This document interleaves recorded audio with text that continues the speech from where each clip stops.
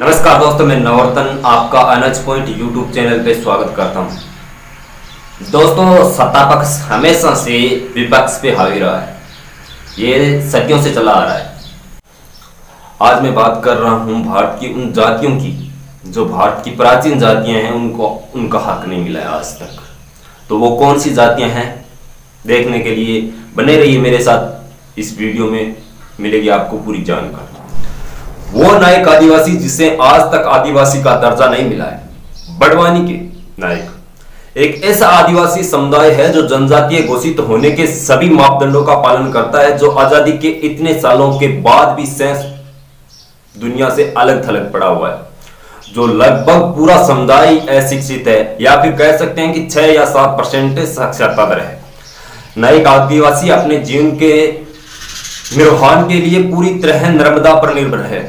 नर्मदा के जंगलों से लकड़ियाँ काटता है और 20 से 25 किलोमीटर दूर दही या अलीजपुरा बड़वानी के पार्टी हॉल में बेचकर अपने जीवन का निर्वहन करते हैं।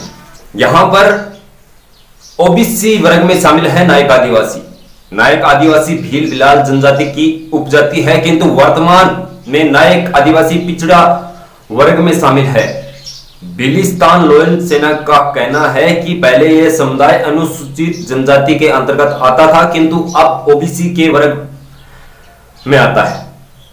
नायक समुदाय के लोगों के पास जीवन यापन के लिए मजदूरी के सिवा कोई साधन नहीं है। समुदाय के 90 परसेंट से अधिक लोग निरक्षर हैं। ऐसे समुदाय को जनजातीय समूह में पिछड़ा वर्ग में शामिल किया जाना न्याय संगत नहीं है। नायक आदिवासी का गौरवपूर्ण इतिहास क्या है? नायक आदिवासी नर्मदा के दोनों किनारों के जंगलों में बड़वानी से लेकर गुजरात के अपतेश्वर तक निवास करते हैं। इतिहास के विद्यार्थी और समाज सेवी संदीप चौहान के अनुसार नायक आदिवासी समुदाय ने अंग्रेज़ों के खिलाफ कई लड़ाइयाँ लड़ी थी, जिनमें नायक विद्रोह 1821 का, भील विद्रोह सन 1813 से 1831 का 1846 का तथा नायकड़ा अठारह से अठारह तक। विद्रोह प्रमुख है। बिलिस्तानी लोयल सेना के अनुसार नायक कोई जाति नहीं है। यह आदिवासियों को अंग्रेज़ों से लड़ने के लिए हम भारतीयों द्वारा दी गई उपाधि है। यह उस वक्त के योद्धा थे जिन्होंने देश को स्वतंत्रता दिलाने के लिए अपने प्राणों को नौशावर कर दिया था। जैसे कि शहीद भीमा नायक।